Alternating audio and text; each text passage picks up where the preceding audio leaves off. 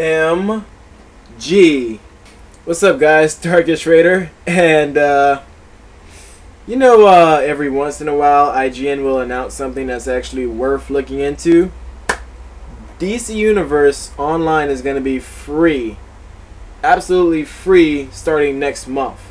Not only do we not have to pay the subscription fee, but we actually get the game itself for free, as in uh, downloadable. And go ahead, call me cheap, but that subscription fee is what kept me from getting the game at launch. But uh, now we're getting it for free. So now everyone, pretty much everyone who has a PS3 is going to be able to experience DC Universe Online. And of course, those who did pay that subscription fee are going to have some in-game benefits, which is only fair. But yeah, I mean, I can't believe it. Like, we actually going to get DC Universe Online for free free of charge. Dang, I cannot. That's for PS3 and PC. Like, it's crazy. I can't wait to be on that. Though I heard it took up a lot of space. I hope my PS3 is gonna be able to run it. I know I gotta beat some, still beat some games and delete them, but it's crazy.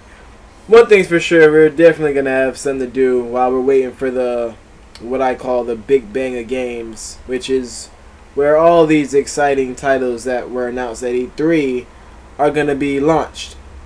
All of them pretty much going to be launched by this year. And of course, we even have some games coming out in 2012 to look forward to. And uh, right now, well, not right now, but we just passed the TGS, the Tokyo Game Show, which Neo GameSpark, he said that TGS was better than E3, and I would have to I have to agree 100% mainly because TGS does announce things unlike E3. E3 just takes what we already know and try to make it look new. But this could have been the best E3 in the history of E3 had they kept everything quiet. Like, for example, that Uncharted 3 demo they showed. Just imagine how much hyped up everybody would be if that was the first time we heard of Uncharted 3. Just think, Skyrim. What if that was the first time we heard about Skyrim?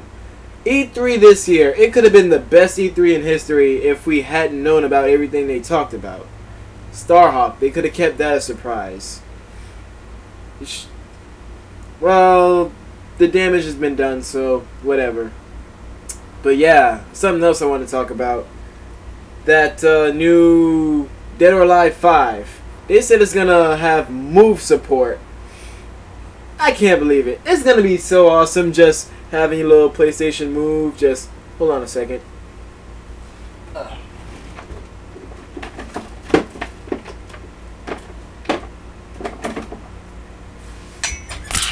To just have your little move controllers and you just mm, mm, mm, and then like depending on the motion that you use to move, you actually make a super attack like something like that.